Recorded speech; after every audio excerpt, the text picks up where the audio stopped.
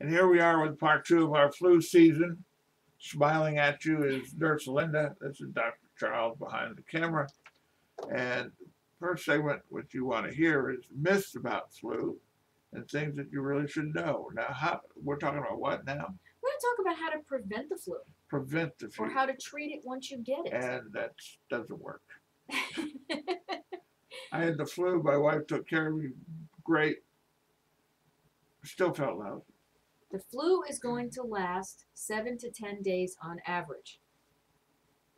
You're going to feel bad, no matter how you look at it. But you can make yourself feel as good as possible, and that's what we're going to talk about a little bit. My dad's cure was bourbon to make him feel better. But I don't know how how that did. That would help with the aches and pains, maybe, but Ah, would not be especially good for the fever that No. comes along with it.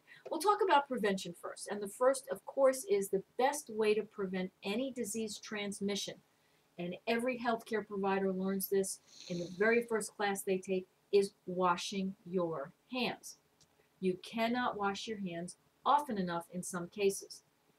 what about that uh, cream or what do they call this uh, stuff that kills germs? Yeah, we're going to come up with that next because I want to stress the importance of good old fashioned soap and water. A B C D. You cannot beat that. Running water, liquid soap, really should get away from bar soap. If you Got want to away a choose, long time ago. if you want to choose to use mm-hmm. bar soap in your home, that's fine because it's your family using it. Not a problem with that. But people coming into your home, you have a guest bathroom, provide liquid soap. You don't want them bringing germs into your home and leaving it And on the paper soap. towels. Paper towels, or what we tell our caregivers when they go into someone's home, if that person maybe lives green, they don't have paper towels, a clean hand towel upon their arrival. Don't ever use that towel that that person has hanging at their sink No, no. because you don't know how long it's been there. You don't Like know what skin. they've wiped on it. Exactly. Skin so- crawls thinking about that. Running water, liquid mm-hmm. soap, and either a clean hand towel or paper towels, ideally paper towels. When you go dry your hands, especially in a public washroom, you dry your hands, use the paper towel to turn the water off. You used it to turn the water on. You've washed your hands, now you're putting your hand on that dirty knob. Use the paper towel. Absolutely imperative. I use a paper towel to open the door to get out. And you can do that too because not everybody washes their hands. So that's number one. Uh, be aware of what you're touching.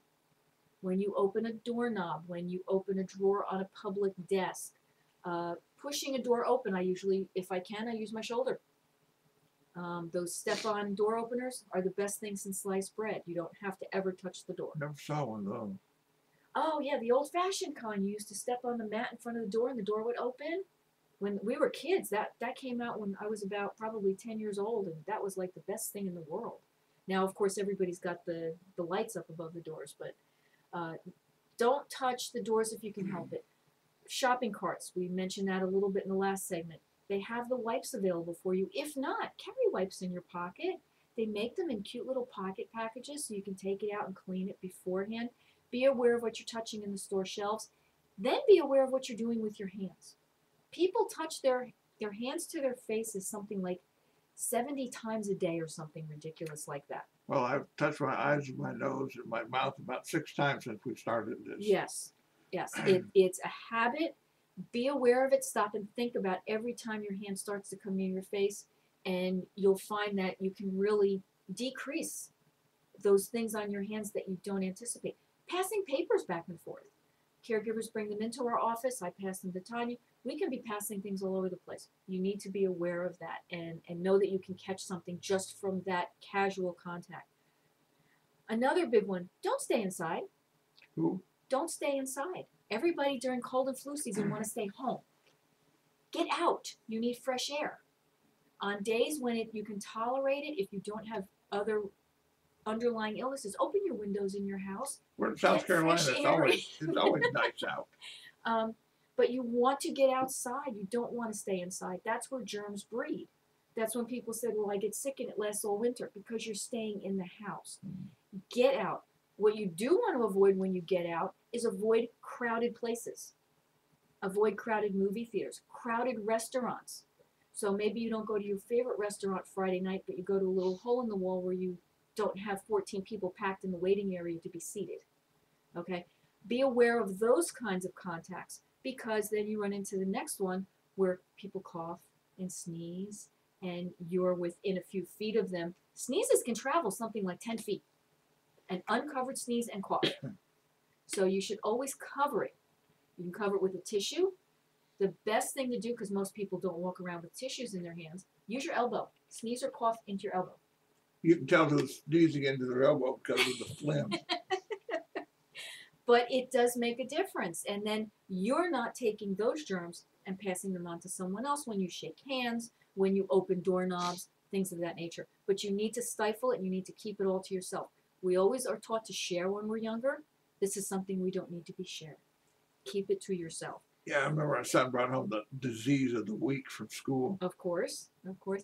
And then you have the option of tissues versus handkerchiefs. Be aware of that, that you're pulling that handkerchief out. How long was it in your pocket, especially men? Uh, women, older women have hankies in their purses. Uh, tissues are better. You use it and get rid of it. Um, it's just more, sanit- more sanitary. We also see pictures of crowded areas like Japan when there's an outbreak of some sort. Oh. People walk around with masks. And I just found out there are different degrees of that. Yes, Some that clear out 90% of stuff. And Yes. You you have HEPA masks. You have different, like you said, different grades, um, depending on what's going around. But be aware, people will put those masks on when they're still in that public area. Take it off and just let it hang there. Now, if there's anything floating through the air, it's gone onto the inside of your mask. good point. Those masks should not be once they're on removed. If they're being removed, they should go into your purse or your pocket immediately. Baggies, carry a bag. Right, to protect the inside of the mask, and that's what you're doing. Is you Well, don't you want anything to like get that. the inside. Yes, but you and I see it constantly. You're losing the effectiveness of it. I was going to do that once and paint a mouth with teeth on Uh-huh. it, but I figured it'd scare people if I didn't do it. The other thing to do to prevent illness is stay hydrated. Make sure you're drinking plenty of fluid. Stay well rested. Get plenty of sleep, especially in the wintertime. Eat well and eat regularly. And if you're not a big breakfast person, have fruit juice and a piece of fruit. Have a, a piece of toast. Have something to keep your calories up, you keep your metabolism up, and you keep your white cells fighting anything that may be coming in. I eat well and regularly at Ryan. That's why I'm so healthy. But those are some of the very simple things. And you should also be exercising. Exercising to where you can breathe deeply.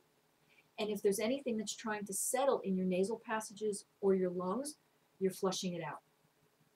In conclusion of this segment, In conclusion, you can stay safe, you can stay well, and you can stay protected with just a few simple steps hand washing, get your flu shot, or talk to your doctor about it, and take care of yourself. Be healthy. what's coming up next segment? Well, we didn't get into this segment. We didn't get into what to do when you do get the flu. We're going to cover that. And then we're going to have a little fun with celebrations during the month of January. Hmm. Simple, si- silly things. Oh, good, Silly things. good. So we have some good news at the end of the next segment. Nurse Linda will be right back with Senior Moment with Nurse Linda.